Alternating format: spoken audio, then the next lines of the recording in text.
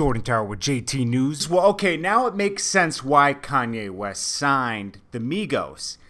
He's not only has good music as a record label like Jay Z has Roc Nation, he's starting a management company like Jay Z with good music management. Because they also signed good music management. And that makes a lot of sense because Jay Z, they say a lot of his net worth this year is because of just Roc Nation management alone, just managing artists. I mean, he has a label and management. I mean, on the label side, you know, his artists like Belly, Jay Electronica, Rihanna, Willow, J. Cole, uh, obviously himself, DJ Mustard, Vice Mensa, Mensa. Sorry, I always get that wrong. But you know, that's some of the artists he has. But then under management, it's totally different. And he's Casey Veggies, DJ Mustard, obviously as the artist he signed. You know, he has Rihanna, DJ Khaled, uh, Meek Mill, uh, just to name a few. That's just a few. There's like 30 of. Big Sean, Angie Martinez, Fabolous, uh, Yandel, and then he has sports, boxing, uh, it's just you know it's big, big business. He's taking a piece of all these people, putting them in big situations. I mean, just Puma alone, he's floating most of his clients through, and they're getting checks.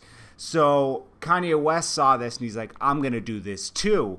So he's gonna take the Migos and probably do ad campaigns with them and everything, and get them more endorsement deals, and get a whole different check. I mean, that's a huge, huge move signing the Migos and doing that with them. So I see where he's going. And maybe that's what the whole 2 Chainz.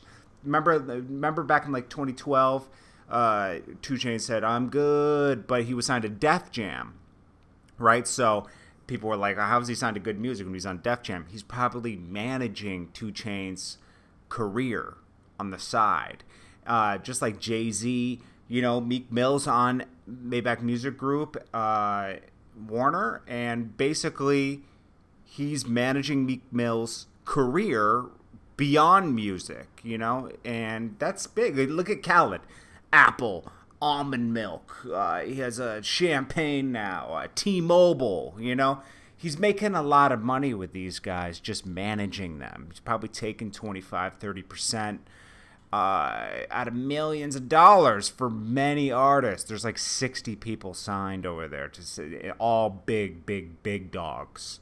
So this is a big power move for Kanye West, moving him in uh, a direction way beyond his career.